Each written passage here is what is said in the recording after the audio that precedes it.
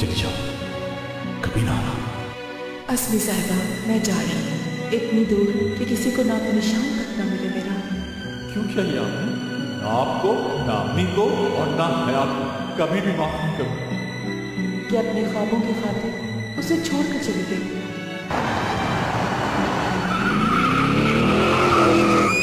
प्यार